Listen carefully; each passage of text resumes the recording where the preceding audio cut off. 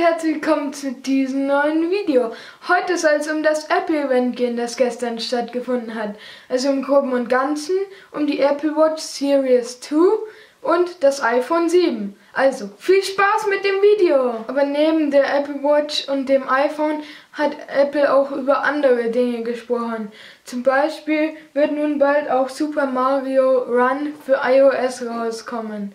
Und jetzt, wo der Hype vorbei ist, auch Pokémon Go für die Apple Watch. Bei der Apple Watch gibt es einige coole Erneuerungen. Zum Beispiel hat sie jetzt einen Dual-Core-Prozessor. Außerdem ein zweimal helleres Display und sie ist wasserdicht bis zu 50 Meter. Außerdem hat die Apple Watch jetzt ein eingebautes GPS und man kann sie also beim Laufen ohne das iPhone verwenden. Das ist auf jeden Fall sehr cool. Außerdem soll es jetzt eine Watch geben, die von Nike gebrandet ist.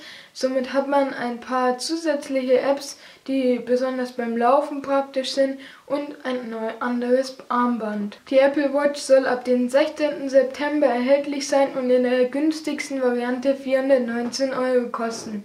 Außerdem gibt es eine neue Variante der Apple Watch und zwar in Keramik. Für die muss man aber dann ganze 1449 Euro ausgeben, wodurch sie eigentlich für fast alle uninteressant wird. Die Apple Watch in der Nike Edition soll übrigens Ende Oktober erhältlich sein.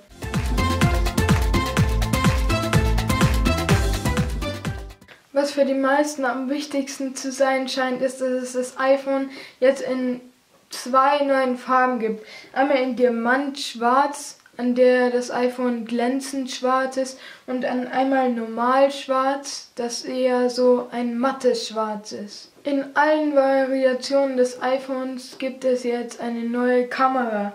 In der kleinen ist es eine 12 Megapixel Kamera, die nun endlich eine optische Bildstabilisierung hat die Blende ist 1.8, wodurch sie sehr, sehr lichtstark ist. Das Objektiv besteht jetzt aus sechs einzelnen Linsen und die Kamera hat jetzt einen True Tone Flash. Das größere Modell der iPhones hat zwei Kameras, eine für die normale Größe und einmal für weiter reingezoomt wodurch man auch weiter reinzoomen kann und die Qualität des Bildes immer noch scharf ist.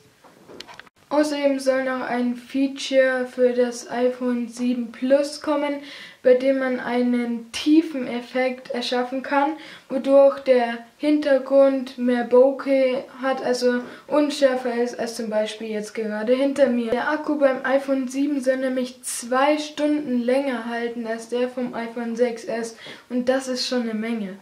Wie wir alle schon vor der tatsächlichen Keynote wussten, wurde natürlich der Kopfhöreranschluss weggelassen. In der Box liefert Apple aber Lightning Earpods mit, so dass man die Kopfhörer auch ganz einfach über den Lightning Anschluss einstecken kann. Und außerdem gibt es einen Adapter von Lightning auf 3,5 mm Klinkenstecker. Das meiner Meinung nach fast beste Feature ist, dass das iPhone jetzt endlich IP68 Water Resistant ist.